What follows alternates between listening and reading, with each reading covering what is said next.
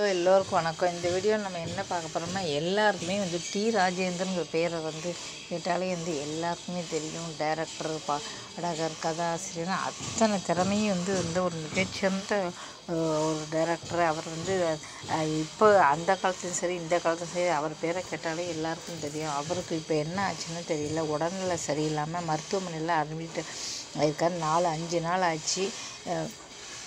என்ன ஆச்சுன்னு தெரியல. அவர் வந்து இப்போ என்னென்னா தன்னுடைய மகனை நினச்சி தான் வந்து ரொம்ப கவலைப்படுறாரு. சிம்புவை நினச்சி தான் கவலைப்படுறாருன்னு சொல்கிறாங்க என்ன மகன் மகள் ரெண்டு பேருமே செட்டில் ஆகிட்டாங்க இப்போ இவர் கல்யாணம் ஆகலை. இவர் நினச்சி தான் வந்து அவர் வந்து கவலைப்படுறாங்க சொல்கிறாங்க அதனால என்னமோ மனதளவில் அவருக்கு வந்து என்னன்னு தெரியல. இப்போ வந்து ஆஸ்பத்திரியில் நாலு நாள் ஆச்சு. இப்போ வந்து அபாய கட்டத்தை தாண்டிட்டான்னு சொல்கிறாங்க வந்து இப்போ வந்து அவர் வந்து ஆஸ்பத்திரியில் வந்து இருக்கார். நாலு அஞ்சு நாள் ஆச்சு.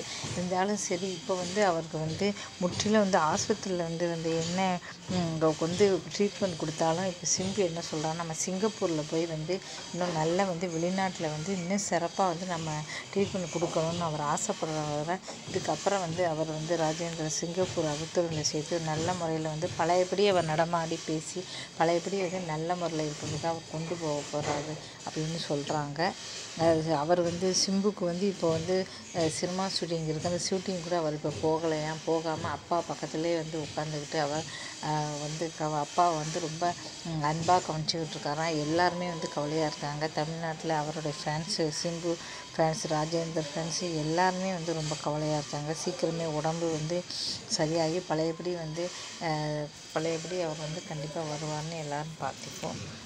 நன்றி வணக்கம்.